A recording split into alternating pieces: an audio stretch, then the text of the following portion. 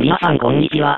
ウエストエクスプレス銀河こと117系と、長線で活躍中の201系だ。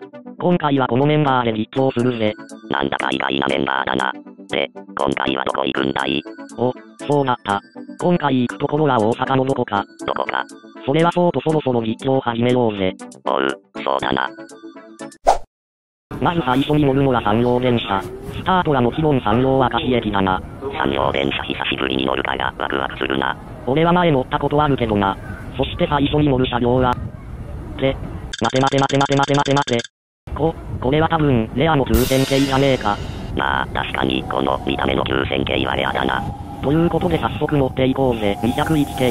おっしゃ、行くぞイエ乗車しました。それでは騒がしい俺たちの鉄道旅。スタートー。なぜわしの騒がしい分類に入ってるんだよ。だ。お、ナイスツッコミ？そりゃどうも。で、今回鉄道旅をスタートした理由あるだろ。お、そういえばそうだったな。今回、俺たちが鉄道旅を始めた理由は一つ。それは、運用をサボって鉄道旅を始めたかったからな。いろいろリスクありの鉄道旅だな。しかも115系、師匠にバレたら説教確定。それまでに実況をするのが今回の目的だぜ。まあ説教は確定しているんだよな。あと103系、万端線の鉄道旅に誘ったけど、断られたぜ。103系は運用があったからな。仕方ないな。運用をサボる俺たちと違ってな。運なんか余計に罪悪感が。切り替えて最初の停車駅、舞子公園へ到着。まあすぐに発車するけどな。そして次は垂水駅を目指すぜ。やっべ、カメラ拡大しすぎたぜ。でこれどう戻せばいいんだ。いや知らないんかい。なんとか戻ったぜ。で、今は JR 路線と合流し走っているぜ。今は JR 車両来ていないな。もし223系が来たら、並走バトルが見れるのになまあそんなことがなかったので、先に進んで、どこかの駅に通過するぜ。どこかの駅とは、あと隣に特急5000系が通過したぞ。なんかヘッドマーク貼ってたような気がしたんだが、多分気のせいだろ。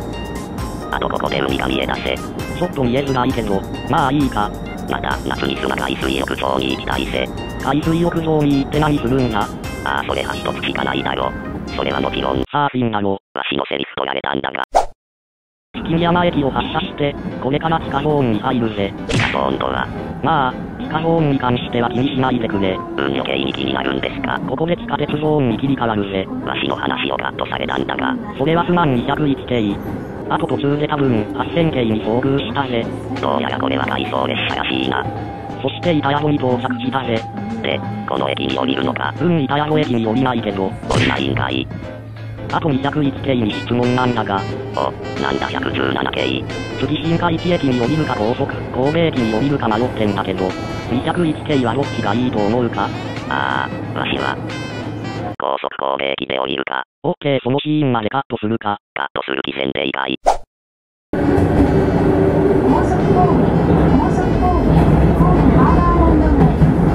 カットして次は高速神戸駅。ここである車両に乗り換えるぜ。ま、まあある車両については置いといて、わしは一つ気になることがあるんだが、お、どうしたそういえばこの動画、なんかカオス動画になってないか。何か察したなこれは。なんかカオスになってる気が。はい、なんとか高速、神戸駅に到着しました。そして発車メロディー、全然取れませんでした。それはどんないということで、9000系を見送ります。隣には阪急車両が発車していたな。でおいどこに行くんだよ。ああ、すまんすまん。もうすぐ次に乗る車両がやってくるから少し移動しただけだよ。あ、ああそうなんだ。で、次に乗るのはもちろん、阪急車両だよね。だと思ったわ。これに乗ってある駅に目指そうと、ん、目指そうと、思った時期がありました。うんなせ三宮駅に降りたんだよ。え、い、いやからトイレに行きたかっただけなんだが。普通に怪しいんだが、そして、隣に産業クリーム車両が停車していたぜ。どうやらこの時間は産業車両がやってくる時間だったんだな。まあその後に発車していったんだけどね。産業クリーム車両、まだ乗りたいぜ。本当の名前は3000系なんだがな。まあ次に乗る車両を待とうか。数分経った後、いよいよ阪急車両がやってきます。ちなみに、接近メロディーは取れなかったそうです。これはショック。まあメロディーについては置いといて。今回、俺たちが乗る車両は、阪急7000系だな。俺のセリフ取られた。今回はこれに乗って大阪梅田に行くぜ。うんなんかネタバレを聞いたような。それは多分気のせいだと思うぜ。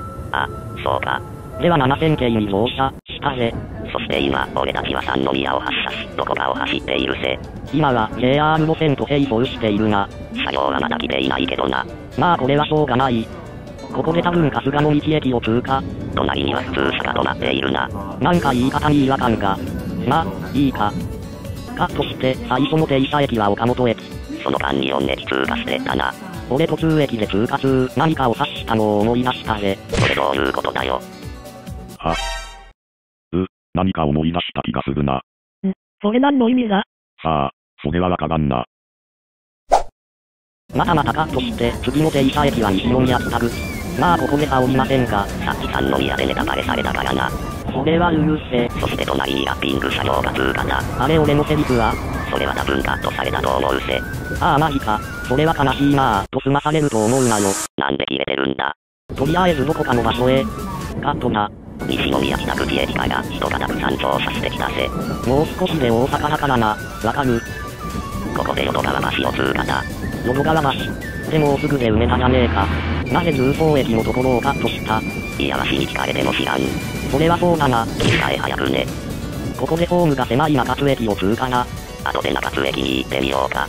それはお断りするぜ。あ、そうか。大幅カットしてもうすぐ大阪梅田駅に到着するぞ。走りに来るから、楽しみしかないぜ。まあここにいる時間は短いけどな。おいそれはどういうことだよ。なんで切れるんだよ。なんかカットされたんだが。はい、無事に大阪梅田駅に到着しました。いろいろあったけどな。そして京都線のメロディーを撮影。管理人は阪急京都線のメロディーがお気に入りらしいぜ。俺たちもこのメロディーお気に入りだけどな。なんか耳に馴染んでくるぜ。それわかる。そして俺は忘れていないぞ。隣に今、人気のラッピング車両に遭遇したことを、おう、可愛すぎてよ。それはよかったな。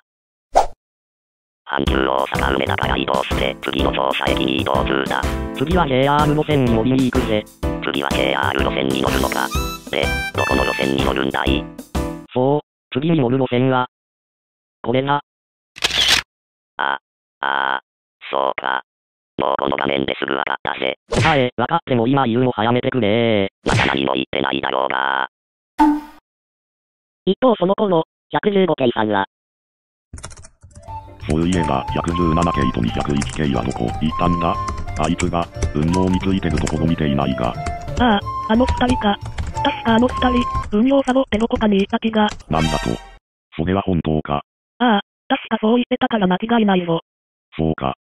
あいつが、いい加減サボりを許されると思うなよ。これで、何度目だ。